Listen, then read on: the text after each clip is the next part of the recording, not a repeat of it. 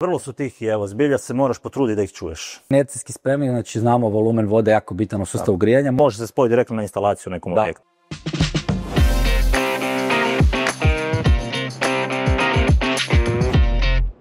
Pozdrav svima, evo novi video u suradnji s Klivetom, a, opet s Ivanom, sugovornikom iz Kliveta. A, tema danas je monoblok uređaj, sve više ljudi a, ide na monoblok, što znači vodena veza.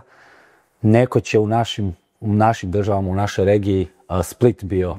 A, primarno, kako je tvoje iskustvo s tim? Split je do, do, do nedavno bio... Pa do nedavno je bio, e, uglavnom je se, su se split izvedbe radile, ali sad sa F-gas regulativom i promjenom e, sa, stvari sa napuštanjem nekih plinova u raslovnoj tehnici i ogromnoj, jednostavno sam primoran preći na monoblok uređaje zato što moramo raditi na GVP-u. Da. Sam smanjiti GVP, a nama propanski uređaj ima GVP3, tako da e, mislim da je to budućnost da ćemo morati svi na vodu nazad preći. Čisto za ljude, a, generalno je dosta radim, ne znam, sjever Europe, tamo je monoblok standard. Da. I oni se čude nama, a Split je u pravilu ko klima. Znači ima freonske cijevi, unutarnja vanjska ko klima, tu ima i vakumiranje i vjerojatno i tvoje iskustvo, najviše problema s uređajem je od freonske instalacije. tako, tako. A sad F-gas, nova regulativa, Europska unija ide u smjeru vodenih sustava, znači za micanjem uh, global warming potential, odnosno koliki je utjecaj na, u odnosu na CO2 na zagrijavanje, ovo je R32. Ovo je, ovo je stroj R32, Ovo je- ali tako isto izvedba Tako je isto, 290. Znači R32 ima 675, Tako je. utjecaj na 675 u odnosu na CO2, a R290 ima 3. Tako da Europa ide, htjeli ili ne, Europa ide u tom smjeru. Uh, tako da čisto ono, vodeni sustavi će postati Pa ja mislim da standard. na ovom dijelu, na ovom tržištu, da. i mislim da. u po cijeloj Europi, da. Šta, šta možemo reći? Ovo znači R32 smo rekli, Tako je. monoblok, sve ima unutra. Tako. Znači vidim pumpa, izmjenjivač i sve ostalo. Ono što je zanimljivo je ovaj ispod spremnik. Tako, to je nešto što imamo ovaj, u ponudi, znači to je inercijski spremnik koji služi ujedno kao postolje. Mhm. On je u ovom slučaju od 30 litara, može imati 70 ili 100 litara, ovisno o veličini ovaj monoblok uređaja. I iznad nje se nalazi tavica za skupljanje kondenzata sa elektrogrijačem, zbog toga što u zimi kad dolazi do difrosta i odleđivanja, Mhm. dolazi do velike količine vode da nam se ne bi led nakupljao ispod samog stroja.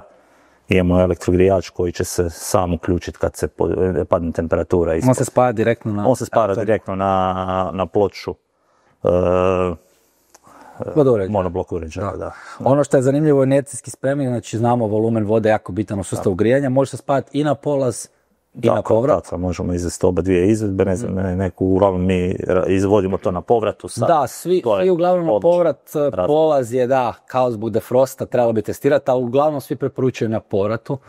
Ali ok, fleksibilno, znači instalater praktički može odlučiti Može odlučiti kako će ili projektant. Ono što je još zanimljivo, znači imamo tu, ovo je go- goli uređaj recimo, goli, ali spreman. Tako, dvije spreman. cijevi, spajamo ga na kut. Ne može se spojiti direktno na instalaciju u nekom Da. objektu. nema- A ima i opcije, vidim tu, uh, sa To je- kutijom. Da, Tu je kutija da. i u kutiji je To je eksterni električni grijač kao backup e, zagrijavanju s- e, sistemske vode.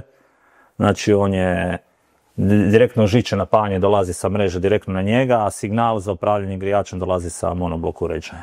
I ti onda možeš reći na kontrole. Tako, i ti možeš na kontroli u njemu definirati područje u kojem će se on upaliti, znači recimo želimo ispod minus 5, kad padne temperatura ispod minus 5, da se u, ovaj električni grijač dodatni uključi kao potpora dizalici toplini, ali neće se on automatski uključiti na minus 5, nego će on, vi njemu stavljate neki vremenski razmak, kada dizalica topline ne može postići zadanu temperaturu sistema, tada će se uključiti električni grijač kao backup, kao podrška dizalici topline. Znači oni će jedno vrijeme raditi simultano, ako će biti potrebe, jel? Ako dođe Da, znači ti mu daš, ajmo reći, pametne parametre, ne da ti ga pali, tako je, nego ako se baš da. muči. Ako ne postigne, to se sve is, u, kod startupa, kod e, puštanja u pogon stroja, odrede se parametri kad želimo da se pali, u kojim uvjetima električni grijač. Kuži, tu ima dosta veliku fleksibilnost, tako da... Ovaj, Znači možeš ga spojiti, ne moraš. Tako, tako. Tu je još jedna kutija.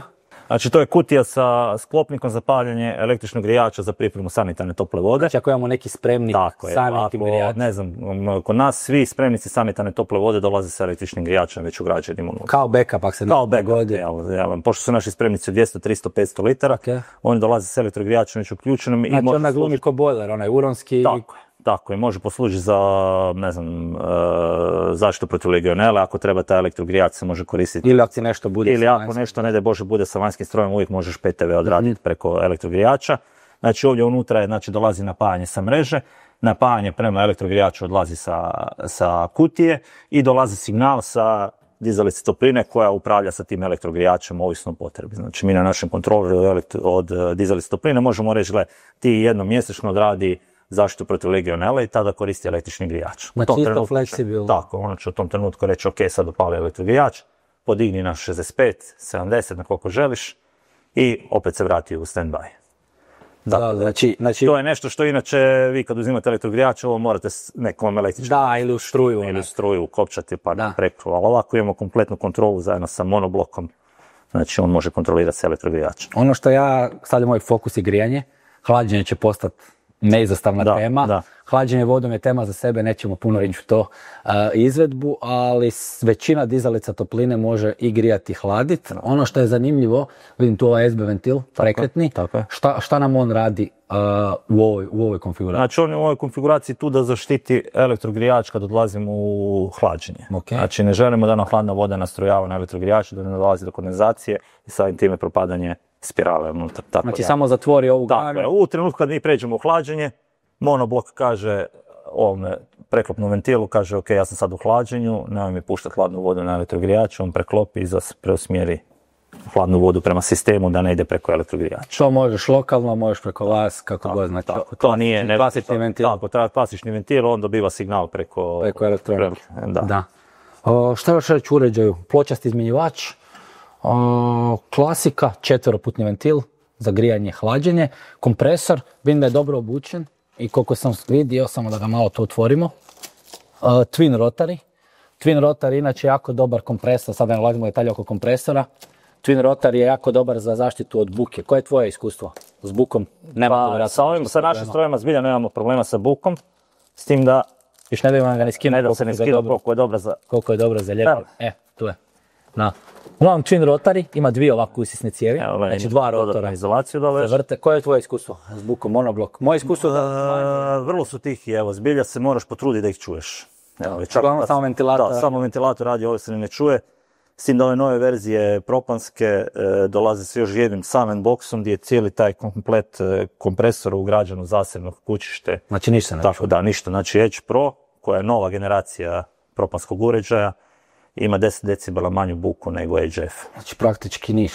On je na, na nivou nekih 40 decibela kad je u punom radu. ljudska, Tako, ljudska priča. tako, A tako, kad smo se dotaknuli R290 nemamo ga tu, ali to će postati i već je A postao. standard je to već. standard, uh, ono što ima jednu manu, a to je eksplozivan je, zapaljiv, to proizvođači vode brigu o tom, ali ima dobre termodinamičke prednosti. Moje iskustvo je pogotovo na nekim višim temperaturama.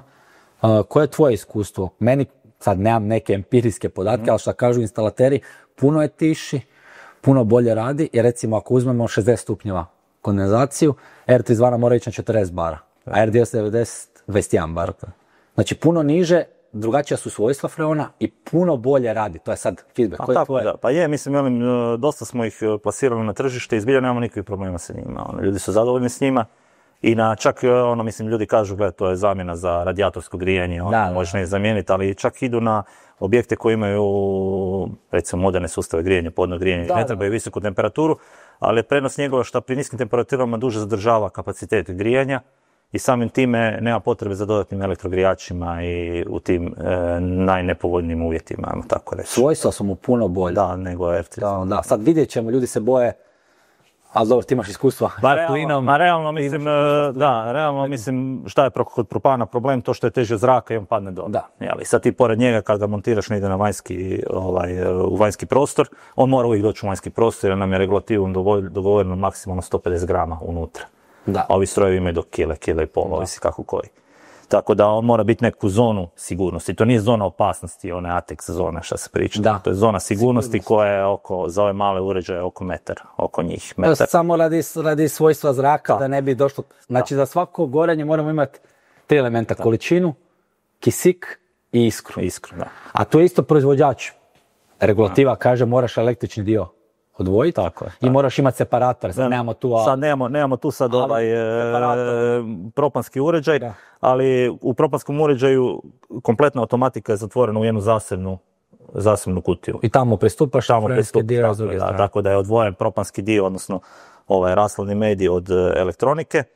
I mislim, ono, kod njega je, velim, e, pošto je to zatvoren sustav propana, tu nema, nema Ne bi trebalo ne bi trebalo biti opasnosti. I to nisu velike količine, to je do kilogram i pol propana, to je... I ono, proizvođači, moje iskustvo je da vode dosta brigu. Vode, vodi se puno Vode o brigu o tome, tome. znači ono, tako da ono, šta je bitno kod njega montaža van, da pored njega nema nekakvih slivnika, e, Prekidača, rekao, mora ići, ali ovo je okej jer je da, iznad. da, da. A KRS Da, on može ići dolje. pada dole. Ali bitno je da ne ide taj, ne daj Bože da taj propan na nekud isteče van, da se on ne, ne staloži u neku lokvicu, evo. Nego da ima neki Tako, prolaz. Tako je, ali obično je to tako smješteno negdje na otvorenom gdje uvijek ima zraka, Da, zraka. I nema cigarete. Da. Mislim i kod propana je dobro što je, ajmo reći, lako je zapaljiv, ali mu je super kvaliteta što se vrlo lako miješa sa zrakom. Aha. I on vrlo brzo se pomiješa sa zrakom i nastane smjesa koja više nije opasna. On je opasan u jednom malom, Malo malom rasponu postotku, jel? Tako da, mislim, njega imate kao propelent u VD40, u laku za kosu, blagu. da. Da, dezić, sve je unutra pro- propan, Samo propelent. količine su. Tako, male su količine, zašto je unutra propan? Zato što ti njega kad ispustiš van, on se odmah poveže sa zrakom i praktički se e, izgubi. Jel? Tako da je tu, tu njeg, neka Njegova svoj. prednost. Druga je problem što se lako miješa sa zrakom, pa Je, svaki, svaki, svaki plin ima prednost, da. ima. Ali ako je neka vanjska montaža, mislim da nema problema, ne treba imati straha od toga. E, dobro, još za kraj samo, koja je ono neko iskustvo generalno za stanogradnje? Mi se isto čini ok varijanta jer imaš opet taj spremnik ispod. Tako. Koje je vaše iskustvo sa, sa ovako uređajem, recimo i sa spremnikom? A ovo je zgodno, ovo je zgodno jer u biti nemate strojarnicu unutra Sve u ovo. objekte, sve vani. Znači doslovce sa cijevima uđete unutra u objekt i distribucija po, po objektu. Opet si, uštedio si. U sjedi se prostor, znači nemaš strojarnicu. Da. Znači unutra je sve, unutra je ekspanzijska posuda, tako Aha, da... ekspanzijska da, sve unutra, da. E, tako da u biti si riješio sve. Jedinu pripremu sanitarne tople vode moraš Ok. imati unutra, Ako ima, to da. ako imaš. To je uvijek tako, da. Da, ali to smo već riješili sa... Sa ovim drugim, drugim koje ste vidjeli u, u onom prethodnom videu. A, dobro, mislim da je to to. Hvala Ivane. Molim. Hvala Ivane i hvala svima na, na gledanju. Vidimo se neki drugi put. Lijep pozdrav. Pozdrav.